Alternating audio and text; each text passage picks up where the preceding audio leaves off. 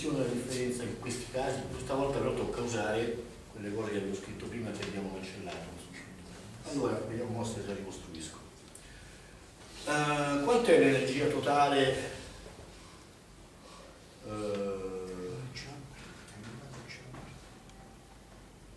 nel sistema del laboratorio?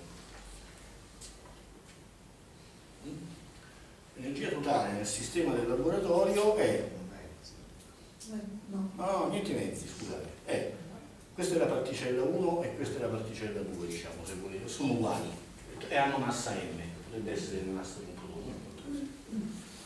L'energia totale del sistema del laboratorio è l'energia di 1, che sarà a sua volta quella che sarà, l'energia a cui l'acceleratore ha portato eh, l'oggetto in questione, più l'energia di 2, però 2 sta fermo, quindi la sua energia è solo mc, no, non è 0, è mc quadro. MC.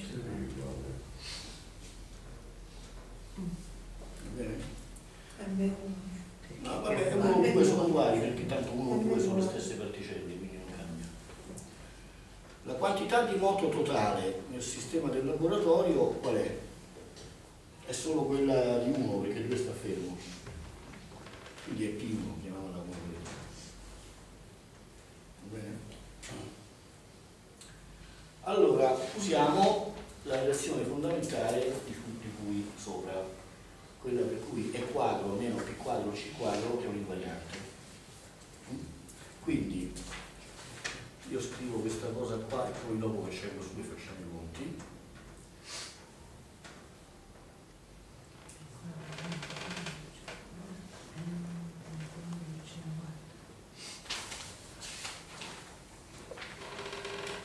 Questo che è l'energia totale al quadrato del sistema del laboratorio meno la quantità di moto quadrata totale del sistema per C quadro è uguale alla stessa cosa calcolata in quest'altro sistema, perché questo è un invariante.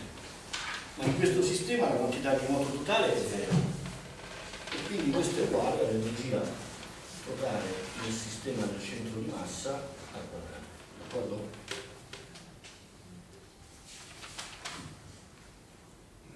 Dai, il conticino semplice ma quando abbiamo perché il risultato finale è spassoso. Ecco, che pareva che mi No, no, no, no, no. Aveva ragione, non toccarlo, tu gli hai messo Appoggio. Il un po' lo devo toccare per scriverci sopra. No, no, no, Un'interazione debole almeno la devo fare. no, ti ha messo, ti ha messo sullo scatto, Allora, qui ci siamo, ci sono obiezioni? Sì, sì, va bene. Perché in C?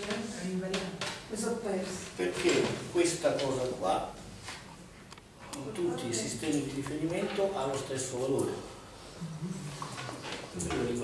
Ah. Quindi questa è questa, uguale è uguale- nel- ma nell'altro c'è solo questo perché la quantità di moto del certo. sistema del centro di massa è zero. Adesso due, due, fate che fa due quadrati, tenendo conto che questo è questo qua, diciamo sto quadrato, non è molto difficile, quindi questo al quadrato fa è 1 quadro più m quadro c alla quarta più 2 è 1 mc quadro meno P1 quadro C quadro, perché il P totale nel laboratorio è soltanto quello della particella 1, l'altra sta ferma, è uguale all'energia totale quadrata nel centro di massa.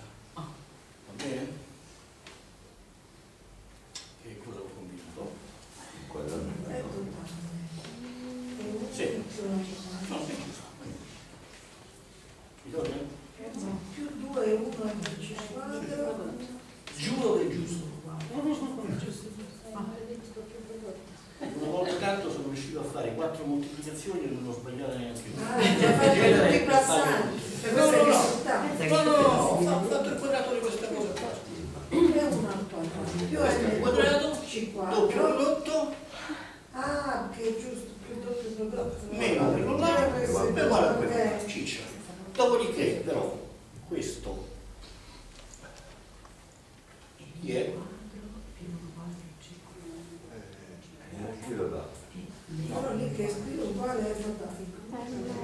Questo meno questo è m quadro scena quarta la variante de- de- della particella 1. Quindi è un altro m quadro c alla quarta, quindi al posto di questo qua posso scrivere 2 m quadro c alla quarta più 2 e 1 mc quadro uguale a paravanzi. Mettete in evidenza 2mc quadro e portare di sotto e viene E1 più mc quadro è uguale a energia quadrata totale nel centro di massa diviso per mc quadro. Ho fatto i conti 2 mc quadro. Questa è l'energia totale del laboratorio e quindi il risultato finale è che quando siamo in, diciamo, la- in generale, questo è vero in generale in realtà, l'energia totale nel sistema del laboratorio è uguale all'energia totale del centro di massa al quadrato diviso 2 mc quadro. Ora, si potrebbe far vedere facendo gli sviluppi in serie eh, che se vado a basse velocità otteniamo il giochino classico che quindi questa non al quadrato è eh, metà di questa. Va bene? Vabbè. Però invece giochiamocela in generale. Parliamo di alta energia. Allora facciamo un esempio numerico. no? Abbiamo visto che se voglio far sbatacchiare automobili? Eh, se, se voglio avere una certa energia nel sistema del centro di massa e invece lo faccio mettendo un'automobile contro quella ferma, ce ne devo mettere il doppio dentro, metà me la perdo. Inventiamoci un processo fisico realistico, eh, anzi no, eh, Paolo dammi i numeri, che ci mettiamo, una cosa in cui si vede sta facendo in modo serio, tipo la produzione in una coppia di, di W dentro LEP o SPS, quant'è l'energia? Cioè, parliamo di particelle elementari, una cosa che si fa, adesso prendiamo questo esempio fisico, nel 1984, mi pare, Carlo Rubbia ha preso il Nobel perché in una macchina del CERN hanno fatto un esperimento che consisteva sostanzialmente nel far sbatacchiare uno contro l'altro, diciamo due protoni, mm? E in questo processo, produce- producendo in questo processo eh, una coppia di particelle che erano i bosoni intermedi, le forze deboli, il W, la cui massa è, quant'è la massa del W? A naso circa 80, 80 GeV. Benissimo. Allora qui stavolta è molto grosso, eh? perché sto prendendo due particelle, due protoni, che la cui massa è circa un GeV, e le voglio portare a un'energia molto alta, abbastanza alta da materializzare nell'urto due pallocconi che hanno massa 80 GeV. Va bene? Quindi quello che io voglio è avere nel sistema del centro di massa almeno 160 GeV, d'accordo? Ok. Allora, se face- e, e questo si faceva al CERN nella macchina con cui eccetera eccetera perché si riusciva a portare i due fasci di protoni uno contro l'altro, diciamo, tutti e due a energie un po' superiori a questa e quindi ce n'era abbastanza perché era tutta l'energia andava bene. Se avessi voluto fare lo stesso botto accelerando solo un fascio di protoni e poi sparandolo su un protone fermo, quanta energia mi sarebbe servita? Questo è il punto. no? Allora, andiamo a vedere quando i numeri sono grossi. Io voglio qua dentro, faccio il calcolo in GeV, qua dentro voglio 2 per 80 GeV, quindi 160 GeV al quadrato, quindi io voglio 160 al quadrato fa a spicci 2,2 per 10 alla 4.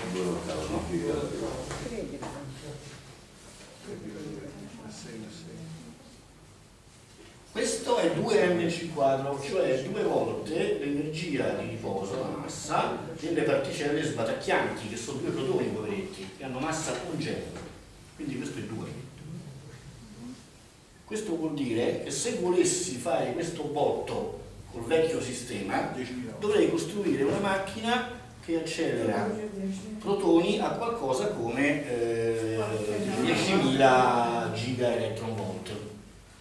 Eh, oggi ci siamo quasi, perché ALHC sta arrivando a qualche tera electron volt, adesso non mi ricordo più le cifre esatte a cui è arrivato, un tera e 1000 GeV, quindi potenziando opportunamente si potrebbe fare questo botto con, ma con, con una macchina che, che è insomma, infinitamente più e andare un po' più su, fare il conto col bosone di X, con le cose, insomma.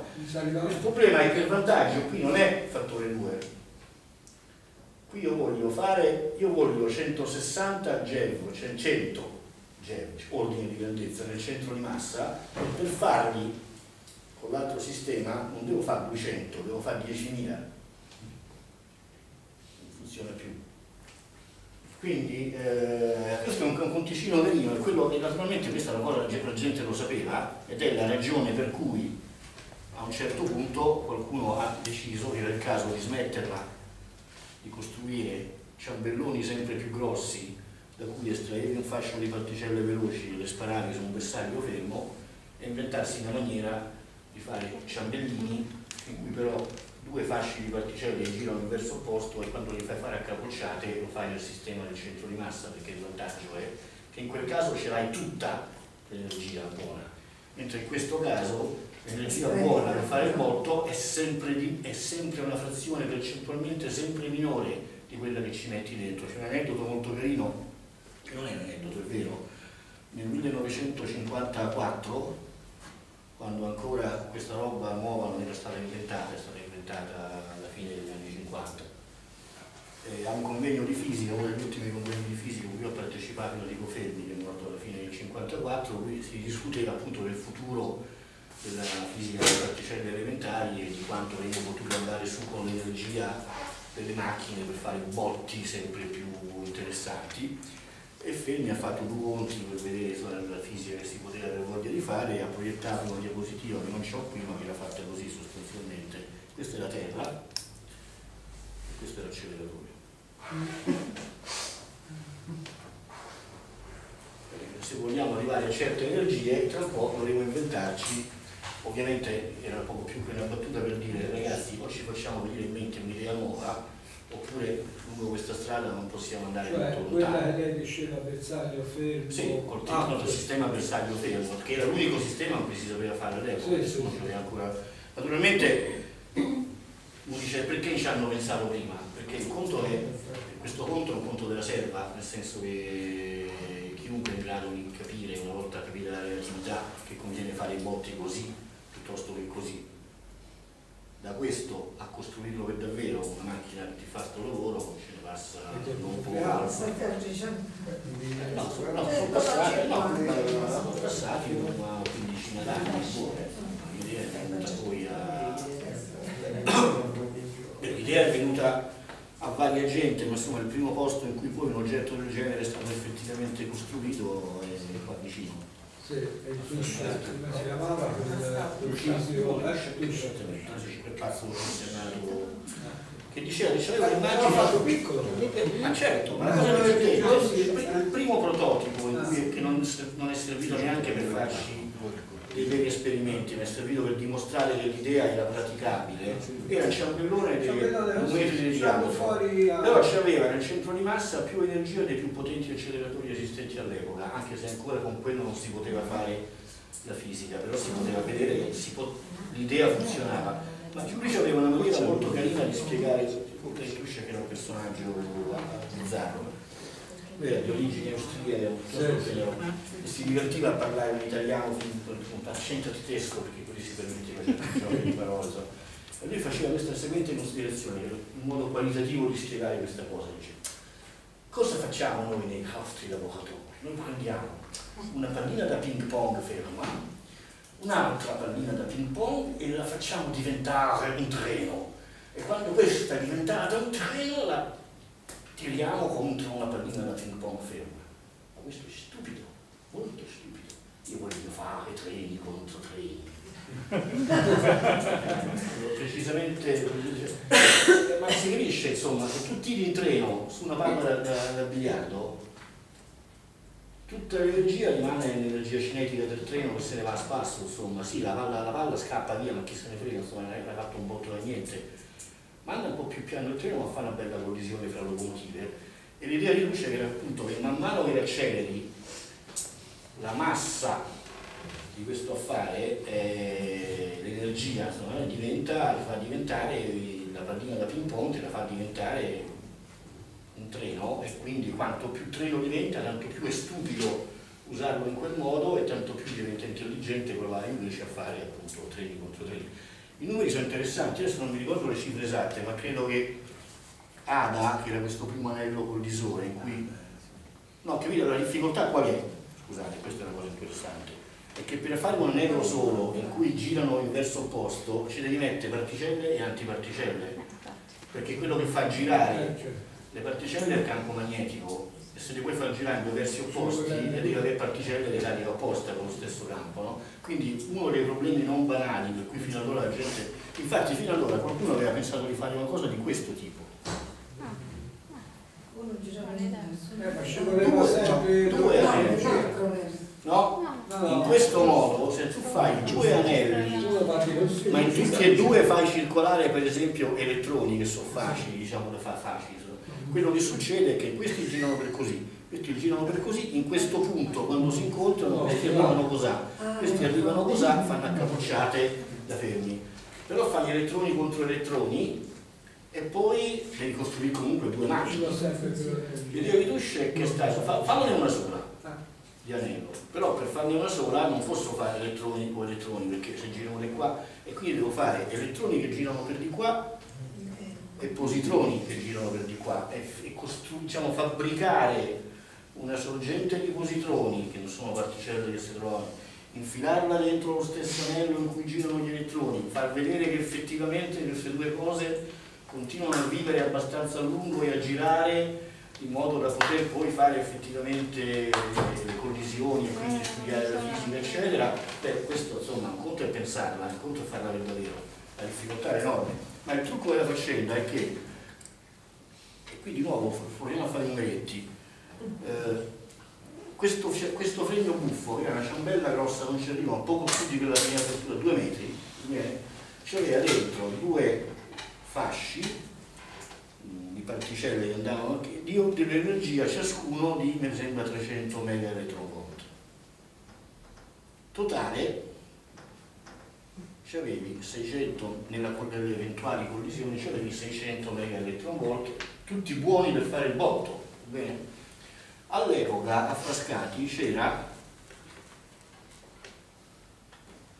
eh, un acceleratore di elettroni, l'elettrosincrotrone che accelerava un fascio di elettroni all'energia di 1 giga eletronvolt ed era un fregno di circa eh, l'elettrosincrotore era stato circa 20 metri di diametro. Era già una macchina piuttosto grossa insomma.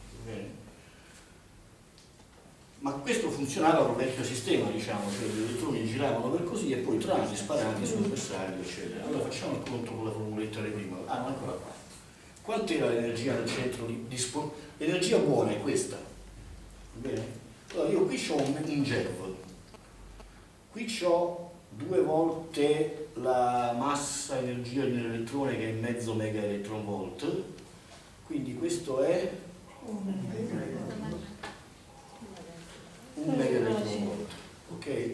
Quindi questo è, eh, facciamo il conto in mega electron volt, questo è eh, 1000, perché è un GeFo, quindi 1000 mega electron volt.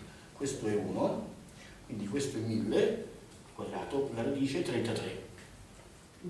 Questo fregno buffo, largo 2 metri, aveva potenzialmente un'energia utile 20 volte più grande di questa.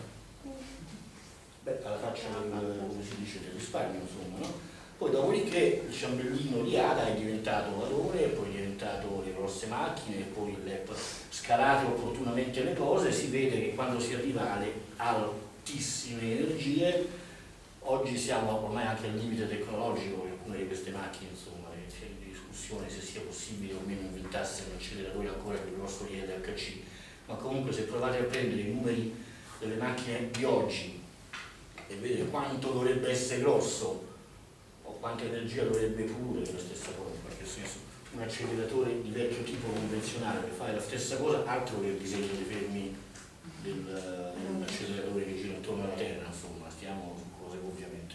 Quindi tra l'altro è un bel esempio in cui, in cui si vede come funziona questa roba, che alla fine è la fisica della relatività, no? per certi versi e poi si vede anche un bel esempio di come a volte quando c'è un impasso in una direzione di ricerca è l'idea nuova che con il fatto di riprodurre sempre su, su scala più larga la roba vecchia, ovviamente.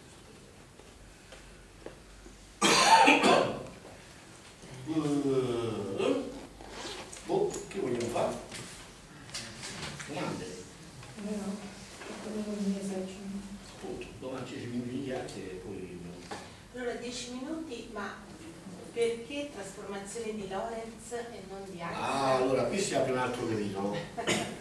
Ho detto che non lo volevo fare, no, non perché non volevo farlo, perché volevo raccontare dopodiché mi inviti a nozze, perché è il mestiere mio.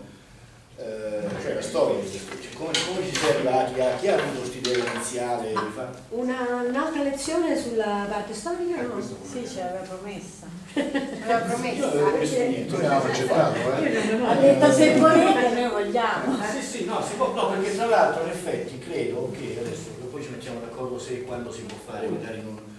Perché se uno racconta un po' la storia di questa roba, però prima bisogna avere un minimo, un minimo avere avuto il flavor di che si parla, poi si capisce meglio certe cose, tutta questa maledetta storia della massa, se uno racconta la storia, cioè, credo che si capisca meglio. Eh, si può fare. Comunque la risposta è molto semplice, perché le trasformazioni di Lorenz le ha scritte Lorenz non Einstein, prima, ma parecchio. Diciamo, ha cominciato a pensarci e a scrivere qualcosa di non definitivo una decina di anni prima di Einstein. Sempre ha- Maxwell. Beh, le origini di tutto questo No, no, sono... dico dopo Maxwell. Dopo Maxwell, dopo Dopo. Sì, sì, sì. Emilio, Lo- Lorenz ha lavorato a questa roba tra il 1890 e il 1905 e poi dopo abbiamo preso il futuro.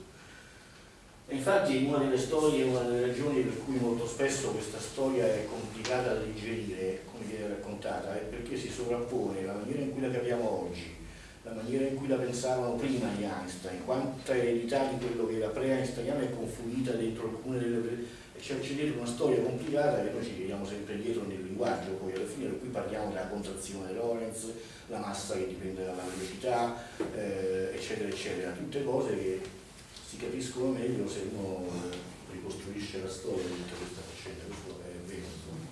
La risposta alla tua domanda è banale, si chiama trasformazione di Lorenz perché ha scritto Lorenz, il quale non ci quale ci deve lettere, quindi tanto per dirne una, insomma, no? quindi per- come diavolo ha fatto, eh, perché le cose sono un po' più complicate di come poi uno si racconta per eh, sistemare La prossima lezione che pensa di trattare?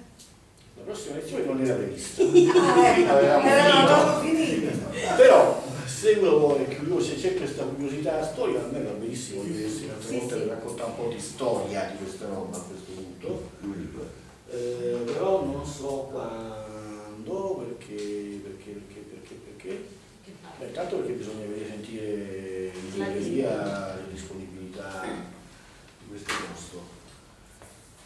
E poi perché devo vedere con l'agenda alla mano eh, se per esempio lunedì prossimo fosse libero questo posto. Eh, Lunedì prossimo giorno è? 16. È il 16. Che succede il 16 sera? Uh. Presentazione del libro di Giorgio, tu sei in grado di dirci questa, la risposta a questa drammatica domanda? C'è la presentazione Ah, c'è- c'è la presentazione di un Il libro. prossimo c'è la presentazione del libro di Guido. Come sei impegnato a mandarci. No, perché la presentazione del libro di Vito Borbone è il pomeriggio, quindi sto a fare Ah, già fai. Eh sì, no, non posso. Lunedì pomeriggio qua in libreria si può fare, in ogni caso quello non Cioè, il solito orario alle 18 non si può fare un, un prolungamento storico, diciamo le cose al contrario, prima ci raccontiamo e poi raccontiamo. No, però fatemi controllare che io sia. A parte la questione. No, però, però con una cosa,